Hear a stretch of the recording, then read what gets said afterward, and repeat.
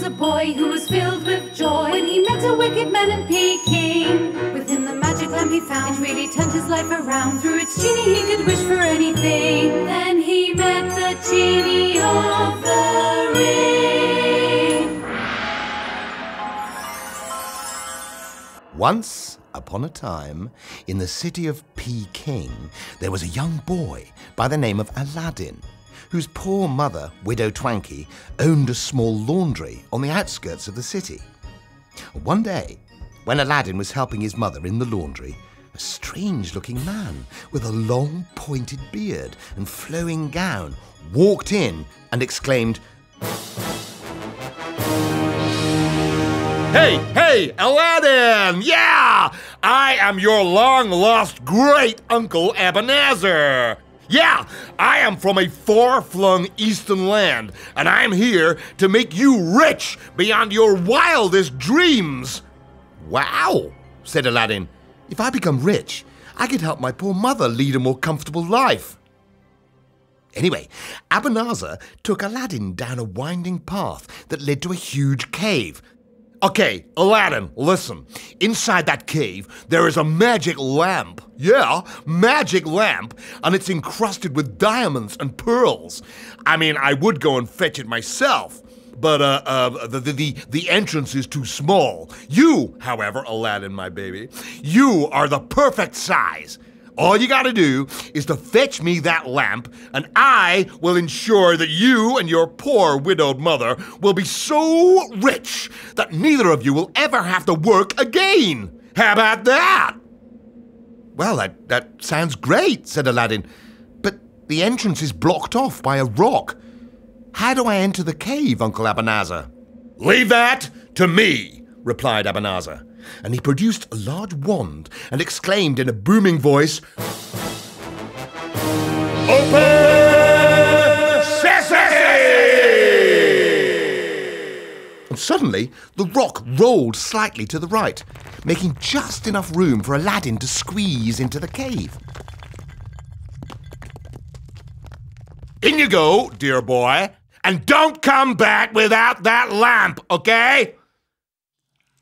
As Aladdin entered the cave, he saw really creepy things like skeletons, giant spiders, and huge bats with large white fangs. Hurry it up! yelled Abanazar. Find the lamp and bring it to me at once! All right, replied Aladdin. Keep your hair on. It's dark and spooky in here. Then suddenly, Aladdin noticed a tunnel to the side of the cave. At the end of the tunnel, he found the lamp. Although indeed it did have a few coloured stones embedded in the copper from which it was made, it was obvious to Aladdin that they were fake. As for the lamp itself, it was old and battered. Blimey, I was expecting more than this, said Aladdin to himself as he walked towards the entrance of the cave with lamp in hand. Ah, ha, ha! I see you have the lamp. Now, now, pass the lamp to me immediately! Said Abanazar, in a voice that made Aladdin feel slightly alarmed. Your voice has changed, said Aladdin. And why are you so eager to get your hands on this battered old lamp? Can't you wait for me to climb out? How dare you be so insolent! shouted Abanazar. And to teach Aladdin a lesson, he angrily waved his magic wand in the air, shouting the words Close! Sashumi! The rock that allowed Aladdin to enter closed trapping him in the dark and spooky cave.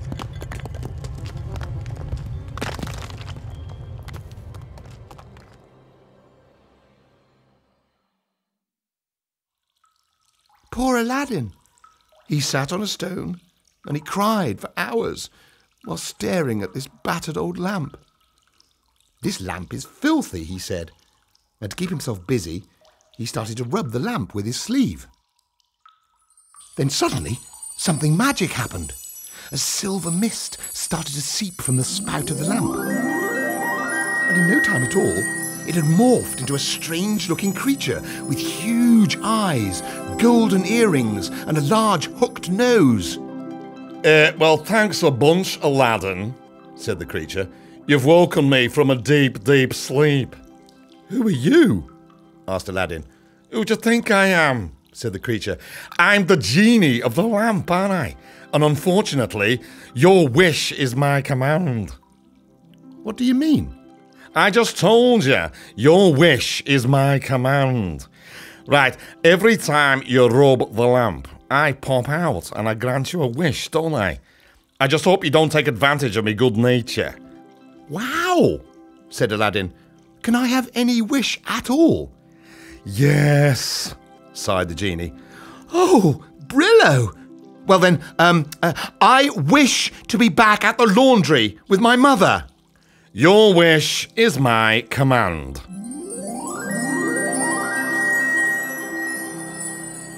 And in no time, Aladdin found himself back at the laundry with his mother, the lamp still held firmly in his hands. Aladdin explained to his mother what had happened. She was shocked to hear how the wicked Abanazar had left him to perish. Then Aladdin rubbed the lamp, causing the genie to appear once more. Hello, Aladdin. What do you want now? Oh, uh, sorry to trouble you, said Aladdin, but I wanted to introduce you to my mother, Widow Twankey, and to thank you for getting me out of that dark and dingy cave. Hey, no trouble, said the genie. Then he handed Aladdin a beautiful gold ring. Now listen, wear this ring at all times, said the genie. If anyone attempts to steal the lamp, you just rub the ring three times and help will be at hand. All right? Now, as much as it has been nice meeting your mother, I would now like to get back to my kip. Oh no, one more thing before you go, said Aladdin. Uh, I've got another wish. I wish you could transform my mother's small laundry into a huge mansion and grant us enough wealth to make us comfortable for the rest of our lives. The usual, then, said the genie. Very well, your wish is, inevitably, my command. And he flicked his fingers, causing the laundry to transform into a huge, stylish mansion. And there, on the floor, were several enormous bags of gold coins. Anyway, over the next year, Aladdin and Widow Twankey started mixing with people of great influence. Oh, this is the life, said Widow Twankey while throwing a lavish dinner party for none other than the ruler of China, Emperor Heehaw. The Emperor's daughter, Princess Kyoko was very beautiful indeed. Over the ensuing months, she and Aladdin fell in love and were married at the royal palace. Ooh, I'm related to royalty now, said Widow Twankey as she danced with Emperor Heehaw, who, like her, had been widowed many years ago. While the celebrations continued at the palace, the wicked Abanazar broke into Aladdin's mansion and stole the magic lamp.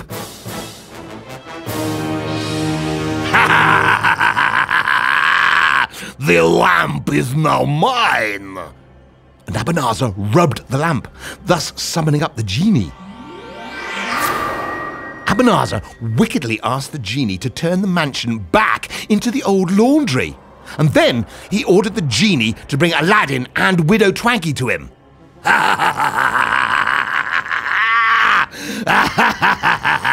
the lamp is now mine. The genie is under my command. And incidentally, Aladdin, you are rich no more.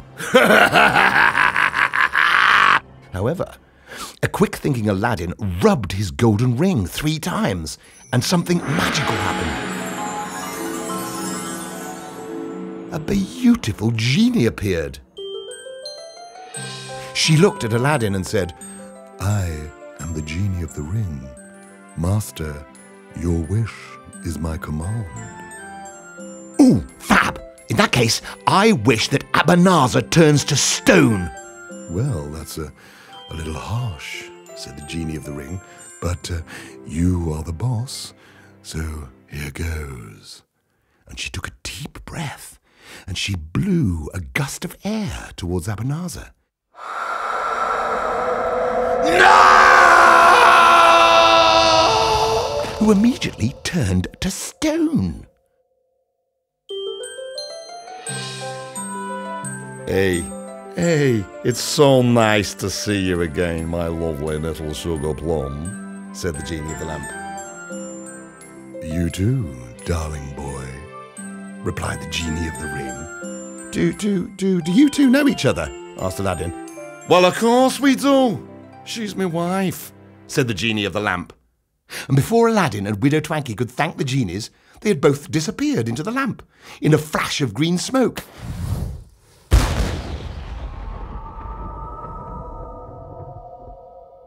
Taking the ring and the lamp with them, Aladdin and his mum returned to the wedding reception, which continued into the early hours.